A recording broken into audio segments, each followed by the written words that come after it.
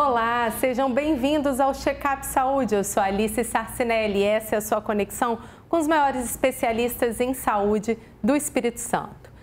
Gente, os números são de alarmar o Brasil concentra o maior número de dentistas no mundo.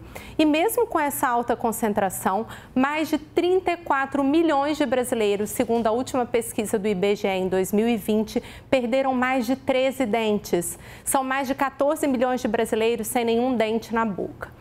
Essa é a parte ruim. A parte boa, gente, é que tem como repor esses dentes perdidos com alta tecnologia e hoje já muito acessível. Vamos falar sobre os implantes dentários.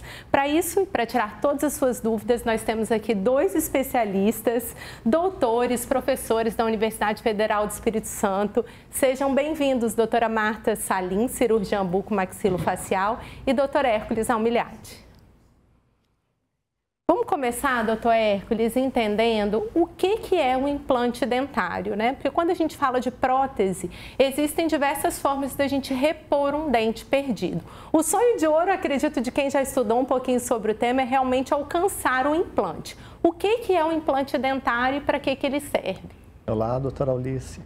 É, o implante nada mais é do que um parafuso ou um pino metálico, uma peça artificial, que a gente chama protética, e essa peça ou esse pino metálico ou genericamente um parafuso, porque normalmente ele tem o formato de um parafuso, tem as roscas de um parafuso, ele normalmente é feito em titânio né? Eu falo normalmente porque hoje já vem surgindo com novas tecnologias e desenvolvimentos materiais que não são só os metálicos, né? mas ele é basicamente esse parafuso que vai fixado no osso e por um processo que a gente chama de osso-integração, é formado osso ao redor desse implante, ao redor da, das espiras ou dessas roscas, para possibilitar então é, a continuidade de um tratamento para futuramente ser colocado uma prótese sobre esse parafuso que seria o substituto, que seria o dente. E essa substituição, quando a gente tem a perda dentária, né, que esses números realmente assustam, mesmo a gente tendo a prevenção, seja por acidente, seja por cárie ou outras doenças, ainda perde-se muitos dentes.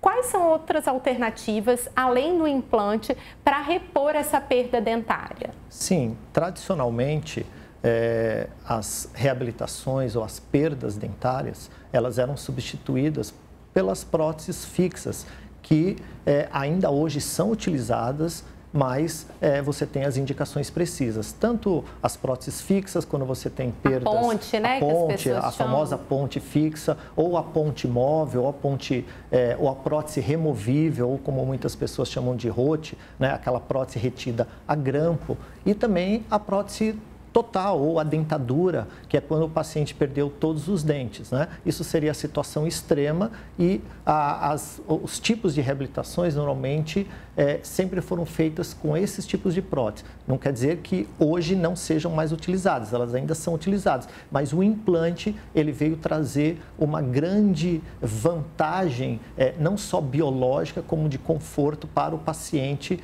podendo então, em alguns casos, substituir essas próteses convencionais por próteses fixas sobre implantes.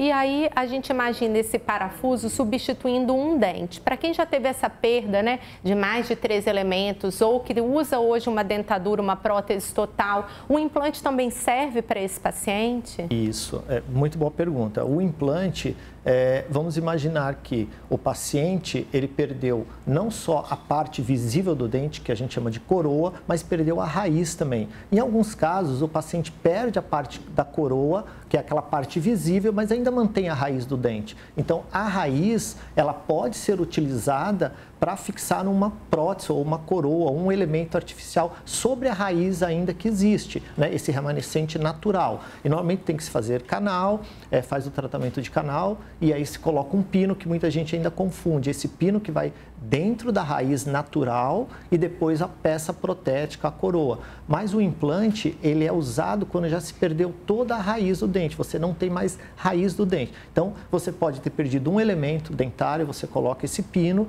e você pode também ter perdido múltiplos dentes. Então, à medida que você é, vai perdendo os dentes ou perde-se esses dentes, você pode substituindo por implantes. E em casos extremos, você tem regiões é, de é, múltiplas, múltiplas perdas e você também pode colocar múltiplos implantes ou em casos mais extremos, que o paciente perdeu todos os dentes, é possível então bem reabilitação com esses implantes e próteses sobre esses. Seria o protocolo que eles chamam? Pegar uma dentadura e fixar como se fosse uma dentadura no implante? Exatamente. Quando a gente pensa na dentadura convencional, essa dentadura convencional ela é apoiada entre aspas, na gengiva ou na mucosa do paciente. Então, do mesmo jeito que ela é só apoiada, então ela, é, ela tem uma baixa retenção, que a gente chama em alguns casos, e principalmente em pacientes que é, ficaram muito tempo desdentados ou perderam esses, esses dentes há muito tempo e usam essas próteses há muito tempo, você tem pouco remanescente ósseo. Esse pouco remanescente ósseo muitas vezes dificulta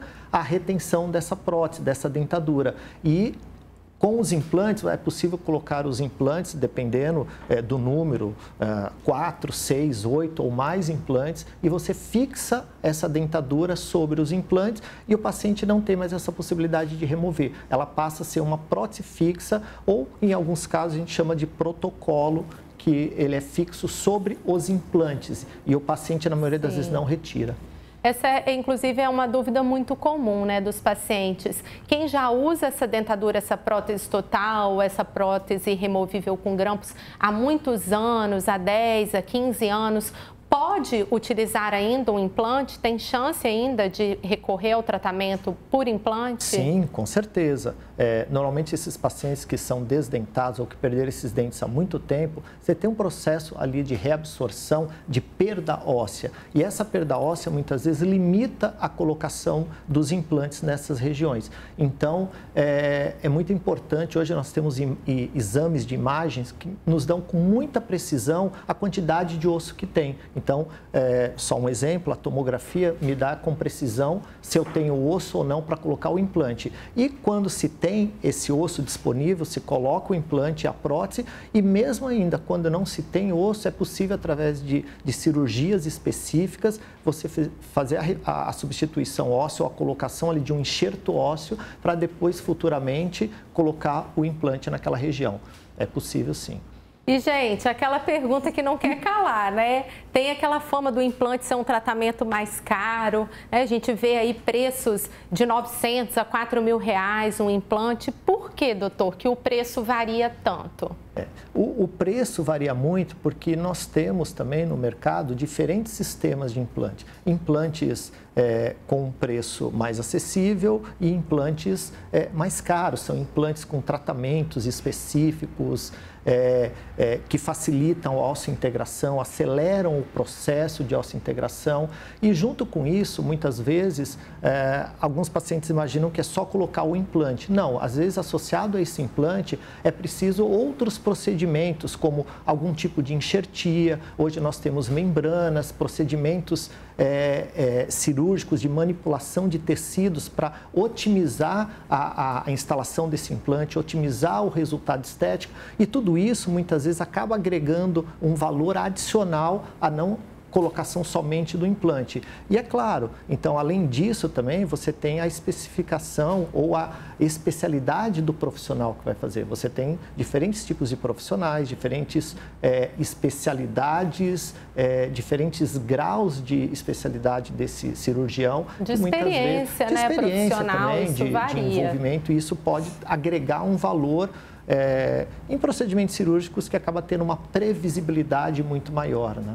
É, falar em cirurgia, as pessoas realmente querem segurança, né, doutora Marta? Explica pra gente, muita gente, quando ouve falar em implante, tem justamente medo do momento cirúrgico. Como que é a cirurgia de um implante? A pessoa precisa ficar internada, ela tem que passar por um hospital, por uma internação, isso é feito sempre em consultório. Como que é a cirurgia? Olá, Alice, olá a todos. Quero agradecer o convite, sempre tão importante estar aqui com temas assim tão relevantes, né? E é verdade que os pacientes, eles têm muito medo da cirurgia de implante especificamente. Muitas vezes eles não têm medo de outros procedimentos, né, como uma exodontia, mas têm esse receio da cirurgia do implante. Em geral, as cirurgias dos implantes, elas são simples e elas podem ser feitas, na sua grande maioria, dentro do consultório, é, sem nenhum tipo de preparo maior.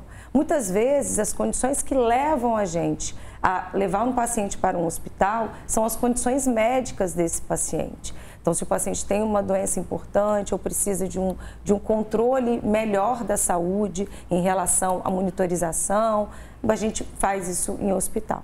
Mas, em geral, não. E, na verdade, é, como o Hércules falou, a, a, cirurgia do implante, a instalação do pino metálico, que a gente chama, né? Ele é um procedimento simples, mas muitas vezes a cirurgia pode se tornar maior porque você está agregando outros procedimentos. Então, se o paciente não tem osso e o implante é necessário que haja um osso, né, para que você tenha a inserção e a estabilidade dele, é necessário fazer enxertos. Né? Então, é muito importante que você tenha um profissional com experiência, especialista, para que identifique o seu caso e veja qual é a sua necessidade real. Sim, porque a gente ouve falar de casos de insucesso em que a pessoa chega a perder um implante, né? Acho que faz parte do planejamento essa questão de ter o osso. Eu falo, a parede tem que estar tá duro para receber o parafuso, como vocês explicaram. É, por que que dá errado? Existe esse risco de rejeição do implante? O que que acontece nesses casos que não dão certo? Alice, essa é a segunda pergunta mais realizada. A primeira é se realmente dói, eu vou sofrer com os implantes, né? E a resposta é não, cirurgia do implante é tranquila. E a segunda é, eu vou ter rejeição? Os implantes, a grande maioria deles são de titânio. A gente tem outros materiais hoje, né? Zircônia, a grande maioria é de titânio. E o titânio é um material inerte. Ele é um material que a gente chama de bio compatível. Então, ele é compatível com o seu organismo, ele não causa nenhuma reação de corpo estranho. Mas por que, que a gente pode perder um implante?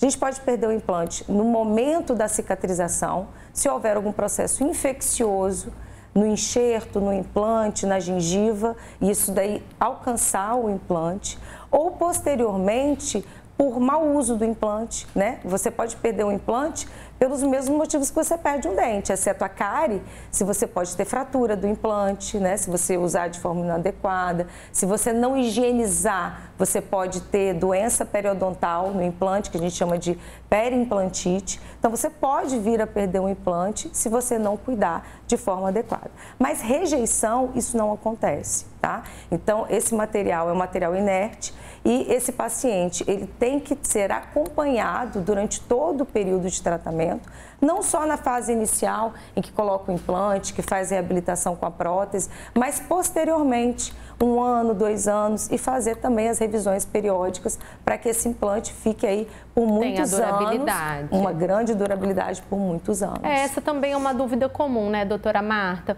Um implante, a partir do momento que a gente coloca, se tiver esses devidos cuidados, quanto tempo ele dura? Ele é um tratamento que vai precisar ser refeito em algum momento da vida? Ele tem uma duração longa? Depende de paciente, mas quanto em média dura um implante?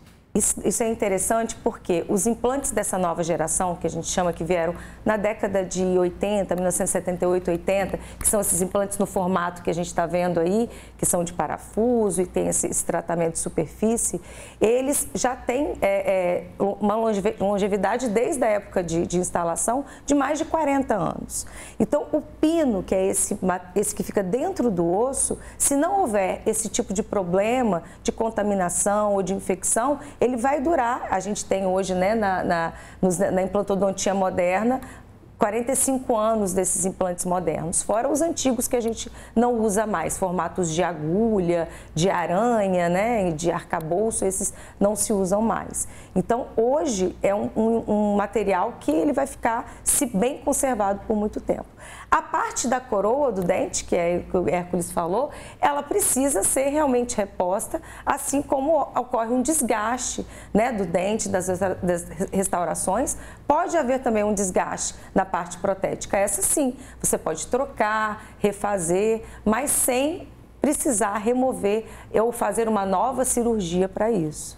Doutora Hércules, essa também é, uma, é um questionamento comum entre os pacientes, confundirem o implante com a prótese sobre o implante. E às vezes, gente, na hora de comprar, na hora de orçar o seu implante, na hora de fazer né, uma, uma, uma consulta para saber o que, que você precisa, que o profissional vai te explicar, não fica muito claro o que, que é a prótese sobre o implante e o que, que é realmente o implante. O que, que o senhor pode explicar para o nosso público sobre isso? É, exatamente. O o próprio, a própria ilustração ali mostra claramente a, a, o dente, vamos dizer assim, dividido em duas partes. Né? O pino, como nós é, comentamos até agora, que é um pino de titânio que vai dentro do osso, e depois a gente tem a parte que vai sobre esse pino, sobre esse implante, que é a parte da coroa, a parte que a gente chama de protética, né? que é, é, efetivamente aquilo que o paciente deseja, aquilo que o paciente procura. Porque na maioria das vezes o paciente não procura o implante, ele quer o dente, ele quer devolver quer a parte... Quer voltar a comer um churrasco. Perfeitamente, né? Ele muitas vezes não está preocupado se ele vai ter um, dois, três, dez implantes. Ele quer ter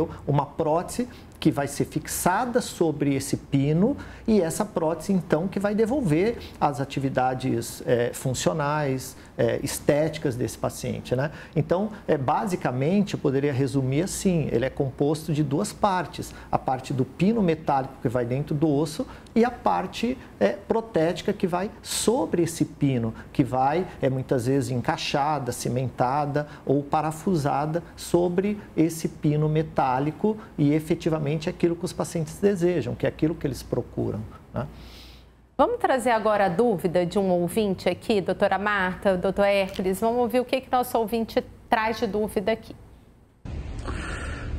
É, eu gostaria de fazer uma pergunta. Eu quero saber se uma pessoa que é diabética pode fazer um implante dentário. Tem alguma restrição? Doutora Marta, então, quais são as doenças, quais são essas condições? A senhora falou que às vezes tem que levar o paciente para internação. O que que contraindica um implante e, e como ele perguntou, se quem tem diabetes pode também fazer? Hoje não existe uma contraindicação absoluta para fazer os implantes. Como eu falei, os implantes estão, é, a cirurgia do implante, ela tem que ser avaliada de acordo com a saúde desse paciente.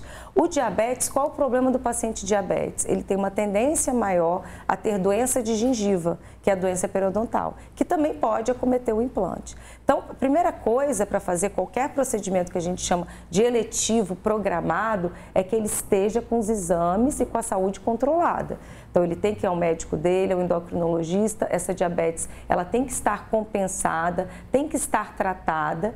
Como a gente fala das doenças né, de saúde pública, a diabetes é uma doença crônica, ela não tem é, é, cura, mas ela tem tratamento. Então, para ser submetido a qualquer procedimento cirúrgico, não só o implante, esse paciente ele tem que estar com essa doença controlada e tratada.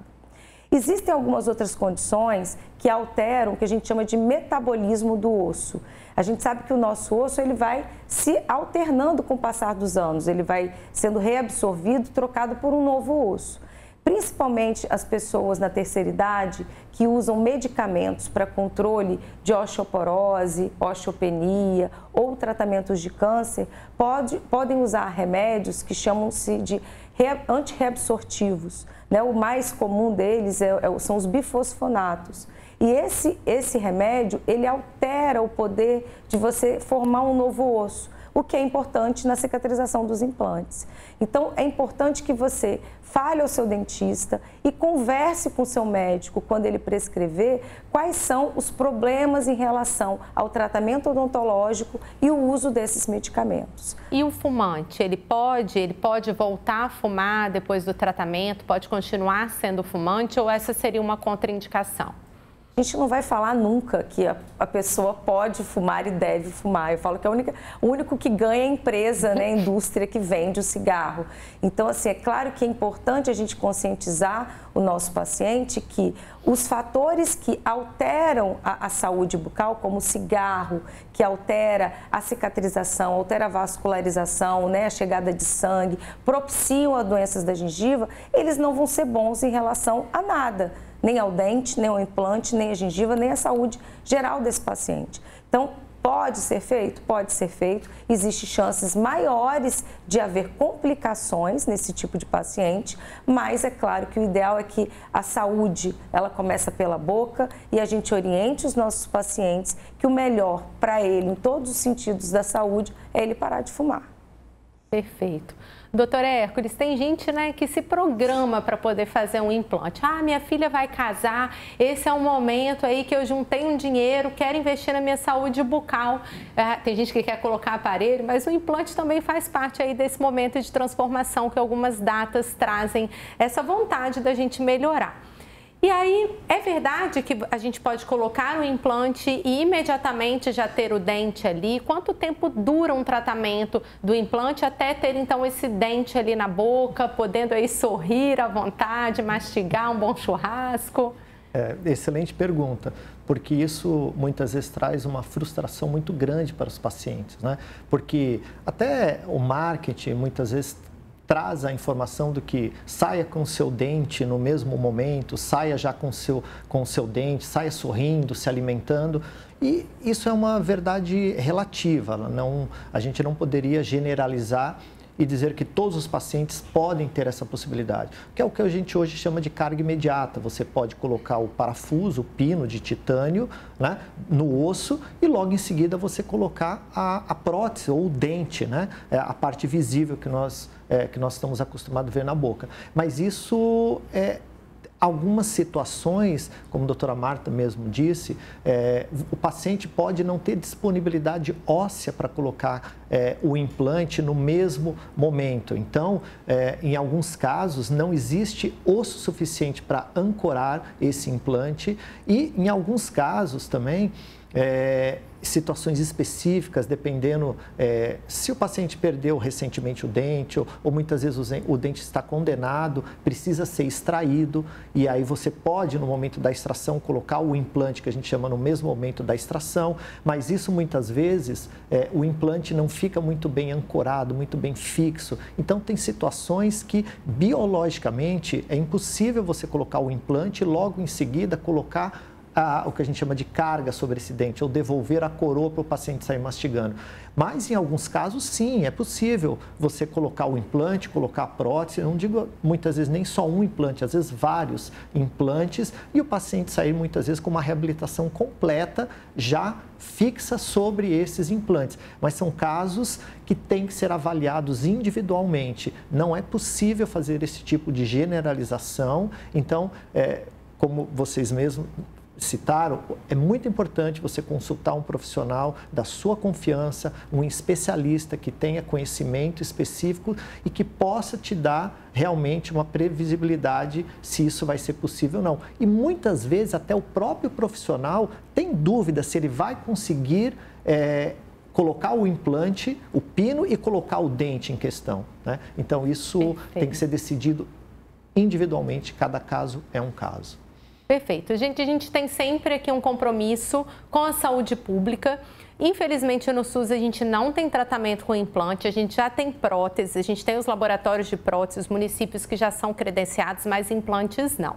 Então, se você tem sonho e quer um implante acessar né, esse tratamento a um preço melhor, o que você pode fazer é procurar os serviços, as escolas de pós-graduação, escolas privadas é, em que dentistas já formados vão se especializar em implantodontia e nesses cursos oferecem o tratamento com implante, em que os professores vão fazer a supervisão e você vai conseguir um preço subsidiado. Eu queria agradecer muito a presença de vocês, os esclarecimentos.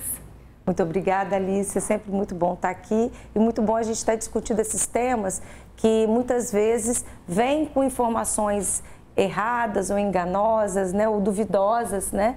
E a gente discutir, poder esclarecer isso de forma bem dinâmica aqui e simplificada. Eu que agradeço, Alice, o convite, agradeço também a presença da doutora Marta, uma especialista muito competente e, e foi muito bom poder passar um pouquinho do conhecimento, tirar algumas dúvidas da população, de uma forma bem simples, mas que as pessoas fiquem atentas e realmente consulte sempre um profissional da sua confiança para tirar as dúvidas. Então, muito obrigado pelo convite, obrigado pela, pelo bate-papo. Esse foi o Checkup Saúde. Semana que vem nos encontramos aqui pela Pan News e pelo Folha Vitória.